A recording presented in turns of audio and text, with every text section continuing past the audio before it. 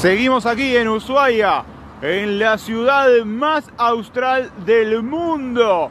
Paso rápido porque no me interesa mostrarles el paisaje, sino esto.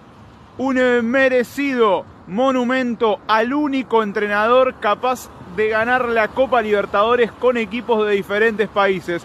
Al gran Patón Bausa, el que levantó la Libertadores 2014 con San Lorenzo. ¿Cómo? ¿Cómo que dice Manuel Belgrano? Pero si él no sabe cuánto pesa la copa. ¿Cuántos títulos tenés, Belgrano?